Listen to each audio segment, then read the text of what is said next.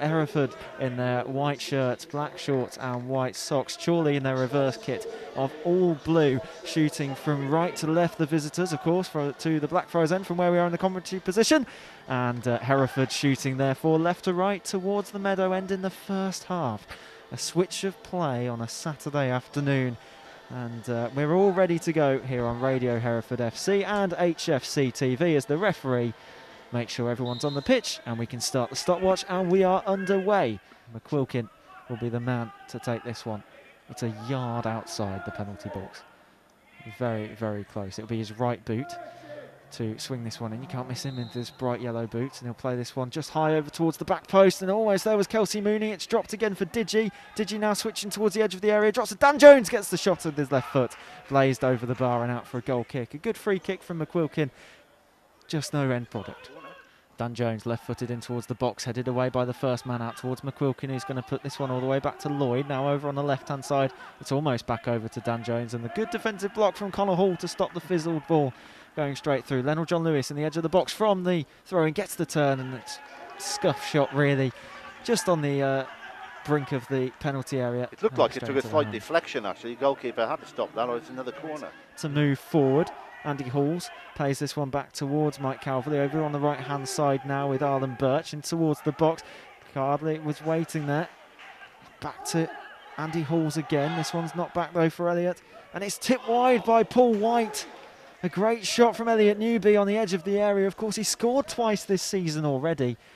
And he might have got a third there, but if it wasn't for Paul White to parry that one. Hesitant, hesitancy on the edge of the box from the Hereford defenders then.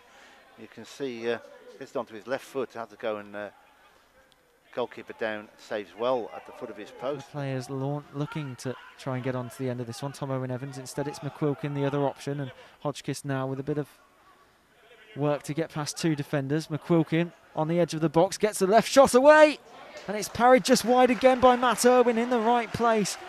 And McQuilkin well, it looked as though yeah. Hodgkiss was struggling to get the ball away from the he two used defenders. his experience then, didn't he, to see the gap open up? I mean, he's vastly experienced, ex-Hereford He United. did, used a bit of pace as well. Walsall, Telford, Kidderminster, Harriers. Moving forward, Elliot Newby trying to get the shot away on his left foot. It's parried back towards Harry Cardwell, who slipped over, and Jared Hodgkiss will just about clear this one away as he switches past him onto his left to get the clearance upfield. Digie now with a nod down towards Giles Coke, and Coke will be able to play this one to Lloyd as now Hereford try and break forward. Dan Jones almost loses his footing with the ball as Tom Owen Evans now makes a switch over towards that left hand. Back towards Tom Owen Evans, keeps the ball in play again. It was very high and loose. It just somehow managed to stay in play. Leonard John Lewis knocks this one on towards Kelsey Mooney, finds McQuilkin in the box with a bit of space. And he's lent back too much and taken the shot over the bar, and that was a great opportunity right on half time for Hereford to take the lead. Yeah, best opportunity of the half, and good work by Kelsey Mooney. Then uh, find McQuilkin, but uh, just seeing the replay of it now for those of you watching on the stream. He got it, and in the end, he just got underneath it, and he's he's disappointed with that. Goes down the right hand side, and Dan Jones will get the initial header into the air. Leonard John Lewis trying to hold off the defence, and this one's down towards Tom Owen Evans. Kelsey Mooney's in the box, and it's blocked away by captain Scott Leather for Chorley out for a corner on this near side to the home side. Left right arm in the air, it be his left boot from the corner out swinging in towards the box and it's headed on by Grimes and Matt Urwin was down to make the save. A fantastic header from Grimes who has to run back into his defensive position now. On target but straight at the keeper.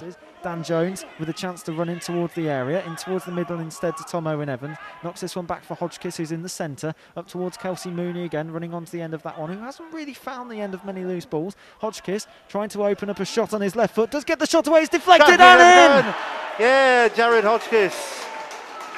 Jared Hodgkiss got the shot on his left foot. It took a massive deflection past Matt Urwin, but into the back of the net it goes. 60 minutes on the clock. We've just hit the hour mark and Hereford have home advantage. They have a home lead as well. It's 1 0. Yeah, he deserved that, didn't he? The way he came forward then. I thought he's going to pass it out to McQuilkin on the right and so on. Well, he was given end, space, knocked it from his right onto his left, got the shot away, and it took a huge oh, deflection. Oh, yeah, More than often. Surely breaking down the left hand side. Low Lewis Baines up towards the edge of the box, and it's passed back again over towards the left hand side. And Ball in towards the box and at the far post is there and it's just off the post again. And waiting was Arlen Birch, and he just couldn't find the back of the net. He Oh. had the whole target to aim at from about a yard out. And Jared somehow, is going absolutely ape at the defence there. well, somehow Hereford again. managed to keep it out. It's a lovely fizz ball though across the back post, and it came, It came off the off post. the post. Yeah. And eventually put out a play by Jared Hodgkiss And front post. somehow, It's one of those that hit the post and went along the line to the other post and nobody can put it in. I just needed a touch from one of them.